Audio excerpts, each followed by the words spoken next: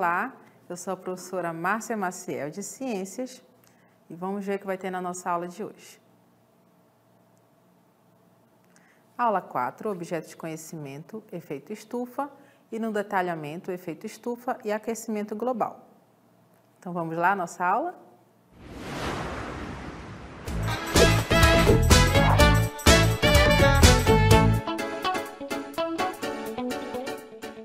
Vamos à nossa aula? Iniciando a nossa aula de hoje, nós vamos começar com a leitura desta cartela. Acompanhem comigo.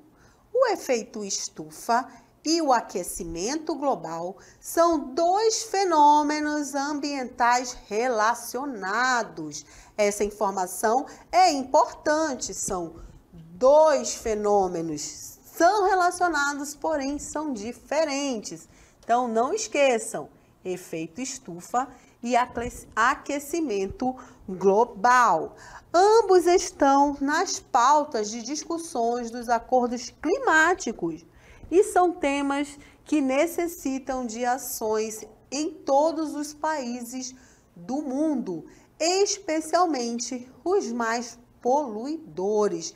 Você está vendo aí nessa imagem uma conferência né, das Nações Unidas para que os países entrem em um acordo sobre o aquecimento global e o efeito estufa, como é que esse aquecimento global tem atingido o nosso planeta. Precisa que todas as nações sejam responsabilizadas, tenham aí a sua parcela de contribuição para um resultado melhor. Vamos lá conhecer um pouco mais sobre o efeito estufa. Acompanhe comigo na leitura.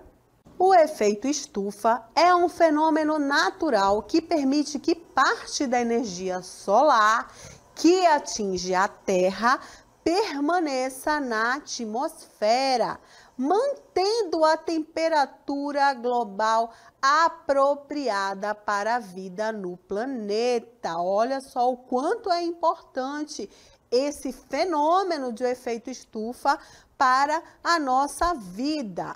A energia convertida em calor não consegue voltar ao espaço, pois determinados gases atmosféricos o absorvem e o retêm à superfície terrestre.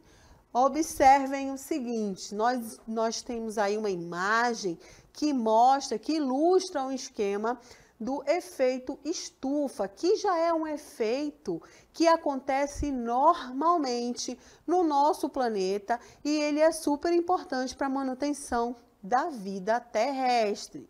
Então, acompanhe comigo aí nessa, nessa imagem. Você vai ter o Sol refletindo os raios solares na Terra. Alguns desses, desses raios solares, eles voltam né? Chegam na Terra, uma parte são, é absorvida e a outra parte volta para o, o, o, o espaço. No entanto, com a intensidade desses gases, você vai ter aqui os gases do efeito estufa, que retém, retém alguns desses raios solares, fazendo com que ele volte para a Terra e mantém aí a nossa temperatura adequada. Os gases do efeito estufa, principalmente o CO2, permitem que a luz do sol passe por eles. Parte da energia solar é refletida pelas nuvens e pela superfície terrestre. Esses mesmos gases, porém, retêm grande parte do calor gerado pela luz solar. Este calor é refletido de volta para a superfície pelas moléculas dos gases do efeito estufa, gerando mais calor. Então, é importante esse efeito para que a Terra mantenha a sua temperatura. E aí todas as atividades que necessitam de energia possam ser realizadas. Lembrando que Esses gases, eles podem também sofrer uma grande quantidade, muitos gases jogados na atmosfera, e esse efeito estufa, que é um evento natural, acaba sendo prejudicado, causando aí um superaquecimento. Vamos continuar com a leitura. Olhem só nessa cartela. Esses gases que captam o calor são chamados de gases de efeito estufa. Os mais comuns são vapor d'água e o dióxido de carbono e o metano. Sem o efeito estufa, a Terra seria fria demais para permitir a existência de vida. A gente sabe que a terra, né, tudo na terra, principalmente a nossa alimentação, advém aí dos vegetais. Né? Os vegetais são fontes de energia para o nosso planeta. Então, se não tiver sol, se não tiver luz solar, a vegetação também vai morrer porque precisa da luz solar para realizar o quê? A fotossíntese, né? Gerar a sua energia e daí dar o início, né, à cadeia alimentar que também nós estamos inseridos. Imaginem só se o planeta não tivesse esse efeito estufa para mantê-lo, nos manter aquecido. Olhem nessa imagem que eu trouxe para vocês. Imaginem só o planeta congelando. Isso que aconteceria se nós não tivéssemos o efeito estufa. O solo, os oceanos e as plantas absorvem ou captam a energia da luz solar e liberam parte dela como calor. Os gases de efeito estufa absorvem o calor e depois o enviam de volta para a Terra. Sem os gases do efeito estufa, esse calor retornaria para a atmosfera, a atmosfera e o planeta esfriaria. Observem aí nessa imagem que se nós não tivéssemos aquela camada dos gases do efeito estufa, os raios solares não seriam completamente absorvido. Você teria o Sol, que liberaria os, os raios solares, né? passaria pelo, pelas, pela camada de gases do efeito estufa e, se não tivesse, ó, retornaria novamente para a atmosfera. Então, essa camada faz com que parte desses raios solares eles fiquem retidos no planeta os gases absorvem e devolvem para o planeta, garantindo assim uma temperatura ideal para, para a manutenção da vida e também a temperatura do nosso planeta. Importantíssimo saber que o nosso planeta ele tem uma temperatura e essa temperatura é que é responsável aí para que a gente possa respirar, ter plantações, alimentos, é, animais sobrevivendo, tudo isso em relação, com relação à temperatura do nosso planeta. Vamos continuar. O dióxido de carbono é o principal gás responsável de efeito estufa. É emitido à atmosfera, em sua maioria pela queima de combustíveis fósseis, de combustíveis fósseis, a gente está falando aí de petróleo, carvão, gás natural. Então, esses são combustíveis fósseis pelo desmatamento e pela queima da vegetação. Olha que importante aí, o dióxido de carbono permanece de 50 a 200 anos na nossa atmosfera. Então, o dióxido de carbono que pode ser originado hoje vai durar aí 200 anos na nossa atmosfera, né? Os cientistas dizem que esse tipo de gás permanece na atmosfera durante todo esse tempo.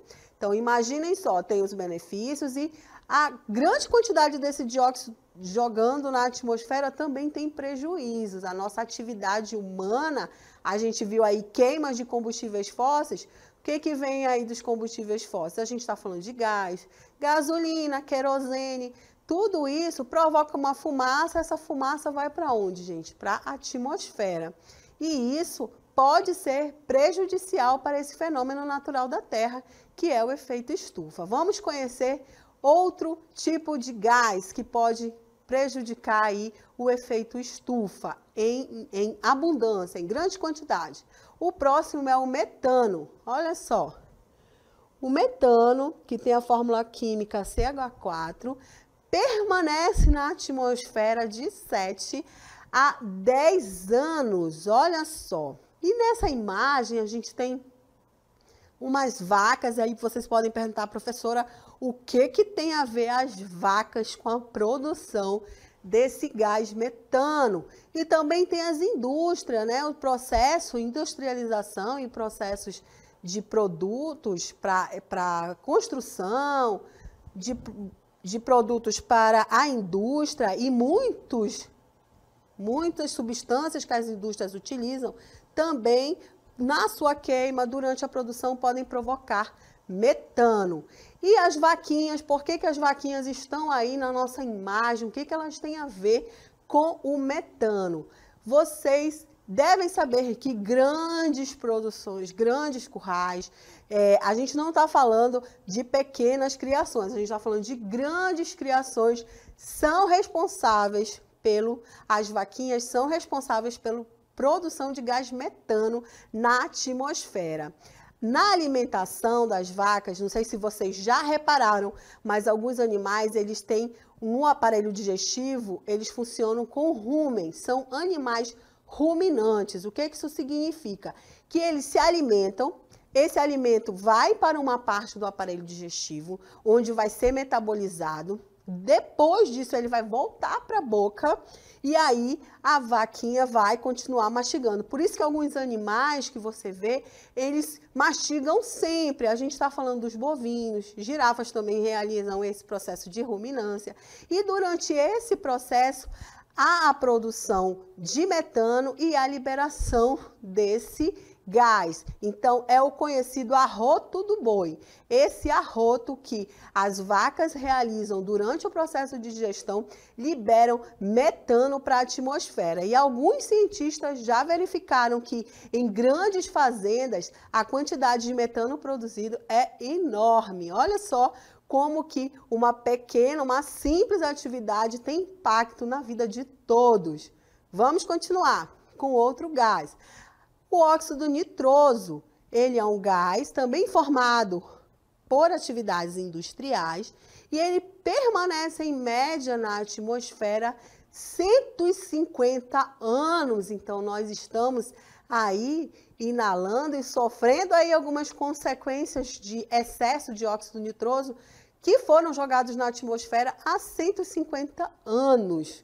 Muito tempo, por isso é necessário que tenhamos algumas atitudes que possam nos ajudar a sobreviver neste planeta. Porque quando a gente vê uma fumaça, rapidinho, né? A fumaça, você tem uma queima, você vê alguma fumaça jogada por, no ar por alguma indústria, rapidamente ela some aos nossos olhos, mas as moléculas dessa fumaça, elas vão para outras camadas da atmosfera e vão ficar, vão se acumular.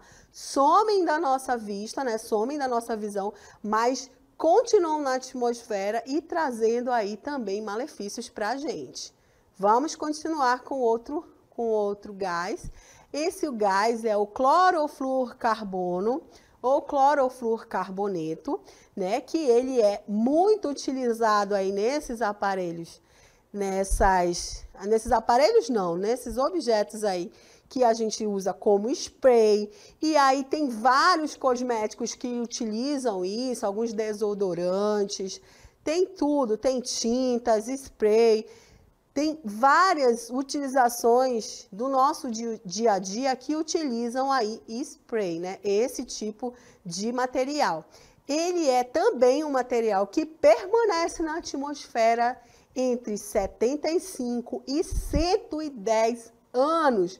Vocês aí vão crescer, namorar, casar, ter filhos, não necessariamente nessa ordem, mas esse clorofluorcarbono que você utilizou hoje, por exemplo, para passar desodorante, ainda vai estar na atmosfera. Olha só como é que é, como é que acontecem as coisas no nosso cotidiano que podem impactar no, o nosso planeta.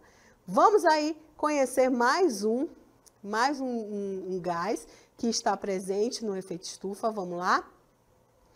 O vapor d'água é um elemento presente na natureza e encontra-se na atmosfera em suspensão, principalmente em forma de nuvens. Então, o vapor d'água, ele já é um elemento naturalmente encontrado, né? Você tem aí o ciclo, o ciclo da água, acontece as chuvas, depois evaporação, formação de nuvens, depois condensação, e aí chuva novamente. Então você vai ter esse ciclo da água e a água aí presente na atmosfera e o seu vapor também.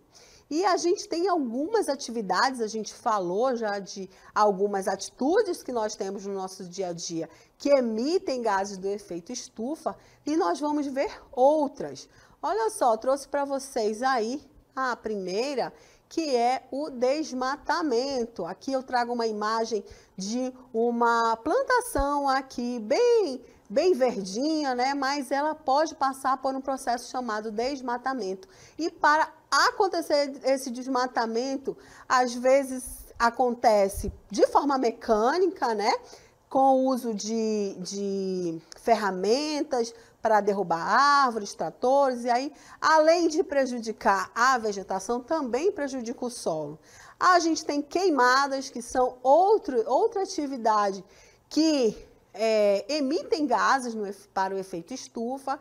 Essas queimadas aí, quando acontecem, podem acontecer de processo natural, existe queima natural, mas existem também muitas queimas é, que são ocasionadas pelo homem. E essas queimas de forma desordenada, seja para utilizar a terra para formação de pasto ou para outro tipo de construção, também pode ocasionar aí mais efeito lá nos gases do nosso efeito estufa. Continuando, a gente tem queima de combustíveis fósseis, como eu falei para vocês, combustíveis fósseis como, como a gasolina, o querosene, gás cozinha, todos esses são elementos de são elementos produtores de gases para o efeito estufa. Quem mais nós temos? Nós temos as atividades industriais. Então, essas atividades elas são principais para a formação de gases do efeito estufa. Aí a gente montou um mosaico aqui bem bonito para você não esquecer. Então você tem aí desmatamento, queimadas, ah, mostrando aí para vocês, olha, queima de combustíveis fósseis, mostrando aí os carros, né, que produzem muita fumaça. Então, nas grandes cidades, você vai ter aí uma até uma fumaça suspensa, onde você tem um grande engarrafamento por conta dessas queimas de combustíveis fósseis, como gasolina, diesel, querosene, mas não é só nas grandes cidades não, né? Nós também temos é, outros tipos de transportes que utilizam é, combustíveis fósseis, como a rabeta, alguns barcos utilizam também esse tipo de material e há aí a sua parcela de contribuição para o, os gases do efeito estufa. E as atividades industriais, que também são grandes responsáveis, responsáveis por jogar poluentes na atmosfera, por isso é necessário sempre que todo mundo esteja de olho nessas, nessas indústrias. Qual é o tipo, qual é o tipo de gás que está jogando na atmosfera, o que, que está jogando na atmosfera, porque é o ar que nós respiramos. Então, há aí sim uma grande preocupação mundial com essas grandes produções industriais. Esse desequilíbrio do efeito estufa, a gente viu no início da aula que o efeito estufa é um fenômeno natural e que ele é necessário para a manutenção da temperatura na Terra. Mas quando há um desequilíbrio, a gente comete o aquecimento global. Olha só comigo o conceito de aquecimento global. Quando há equilíbrio entre a energia solar absorvida e refletida, a temperatura na Terra se mantém constante. Porém, se ocorre algum desequilíbrio nessa relação, a temperatura média global pode ser alterada, causando desequilíbrios ambientais. O aquecimento global e o aumento da, é o aumento da temperatura média do planeta devido à elevada acumulação de gases do efeito estufa. Não esqueçam disso, o efeito estufa é um fenômeno natural importantíssimo para a manutenção da vida na Terra. Mas se há uma elevada acumulação de gases do efeito estufa, nós vamos ter o aquecimento global. Esses gases, eles bloqueiam a passagem de parte da energia solar refletida pela Terra, que volta para o interior da atmosfera. A gente viu no desenho, né, que alguma que a a, a, a camada de gases do efeito estufa, ela retém, ela retém uma, um certo calor desses raios solares. Se esses raios solares, se esse, esses gases eles começam a ficar mais espessos, mais grossos, o que, que acontece? Esse raio solar que bate na Terra, ele não consegue mais sair da Terra, ele volta. Então, volta todo, em, em vez da Terra absorver o que ela precisa, ela vai absorver muito mais. Então, esse calor vai na camada lá de gases e vai retornar para a Terra, fazendo o quê? Um superaquecimento. É o que a gente chama de aquecimento global. O aquecimento global é uma consequência desses desequilíbrios causado pelo acúmulo de gases de efeito estufa emitidos pelo homem. Lembrando que os gases do efeito estufa são produzidos naturalmente porém se tornam excessivos pela ação humana. Observe aí nas imagens, a gente está trazendo para vocês algumas, algumas figuras que mostram o que, que o aquecimento global pode causar. Né? A gente está, nessa primeira imagem, a gente tem indústrias aí falando que indústrias e queimadas elas podem favorecer o aquecimento global, porque vão jogar mais gases na atmosfera né? Até uma, uma animação aí do planeta Terra aí em chamas e os, um urso polar ali com o seu gelo já derretendo, que é uma das consequências do aquecimento global. E é nesse sentido que nós vamos continuar as consequências do aquecimento global. Os cientistas acreditam que o aumento da temperatura média da Terra resultará em sérias consequências, das quais se destacam derretimento das calotas polares. A gente sabe que o planeta Terra, nos seus dois polos, ele possui grande massa de gelo, né? Muito congelado. São, é o que a gente chama de calotas polares. Então, você tem o planeta Terra e você vai ter nos seus dois polos aqui em cima e aqui embaixo, as calotas polares, onde a gente viu lá os ursos polares, que são diretamente afetados porque isso começa a derreter, aquele aquecimento começa a derreter essa parte mais fria da Terra. E a outra consequência vai ser a maior frequência de desastres naturais, como furacões, enchentes e secas maior frequência desses, desses desastres naturais, como furacões, enchentes e secas, você vai ver devastação de várias cidades que pode ocorrer.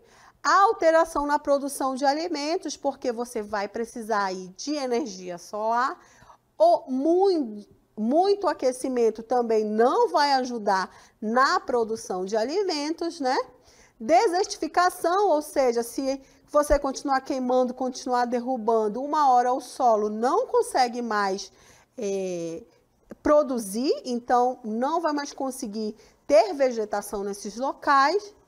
maior frequência de desastres naturais como os enchentes e furacões e secas, considerando aí que enchentes e secas elas são aí, importantes para a natureza, é um processo natural, mas que também esse aquecimento global pode prejudicar. E a inundação de cidades litorâneas, quando a gente fala de cidades litorâneas, a gente está falando daquelas cidades mais próximas à praia, né, próximas aos oceanos. E também a extinção de espécies. Várias espécies irão sumir por conta desses desequilíbrios e desses acidentes desses, desses desequilíbrios naturais e desses acidentes ambientais. Tudo isso pode provocar uma grande devastação no nosso planeta. E eu trouxe um vídeo para vocês para mostrar o que, que pode acontecer. Vamos assistir? O aquecimento global. Fenômeno caracterizado pelas alterações climáticas e o aumento da temperatura média do planeta, por fatores naturais ou antrópicos. Já tem desencadeado vários desastres ambientais. As consequências do aquecimento global são diversificadas e complexas, podendo gerar danos irreversíveis à humanidade. Uma das consequências mais notáveis é o degelo. A Antártida perdeu mais de 3 mil quilômetros quadrados de extensão. Fato preocupante, visto que seu derretimento pode provocar um aumento do nível dos oceanos de até 7 metros. O derretimento dessas geleiras gera transtornos ambientais e sociais. Esse fenômeno altera a temperatura dos oceanos, causando um desequilíbrio ambiental e atingindo principalmente as espécies marinhas.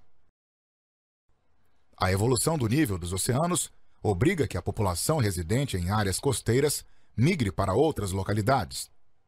Estima-se que pelo menos 200 milhões de pessoas sejam afetados pelo aumento do nível dos oceanos. Outras consequências do aquecimento global são a desertificação, alteração do regime das chuvas, intensificação das secas em determinados locais, escassez de água, abundância de chuvas em algumas localidades, tempestades, furacões, inundações, alterações de ecossistemas, redução da biodiversidade, perda de áreas férteis para a agricultura, além da disseminação de doenças como a malária, esquistossomose e febre amarela. Portanto, o aquecimento global tem consequências extremamente negativas para a vida de todas as espécies do planeta. Sendo assim, são necessárias medidas para amenizar o processo de alteração climática, como, por exemplo, a redução da emissão de gases responsáveis pela intensificação do efeito estufa, garantindo assim uma relação harmoniosa entre homem e natureza. Então, esse vídeo aí, essa animação, trouxe para a gente quais são as consequências do aquecimento global. Tudo que nós falamos na aula, aí traduzido num vídeo para a nossa vida, para o nosso dia a dia, há consequências com o aquecimento global. A gente falou na aula de efeito estufa e de aquecimento global. Vimos que são dois fenômenos diferentes e que estão relacionados. Vamos então entender a diferença entre eles. Acompanhem comigo a leitura. Diferença entre efeito estufa e aquecimento global. É muito comum a confusão entre os termos efeito global e aquecimento, efeito estufa e aquecimento global.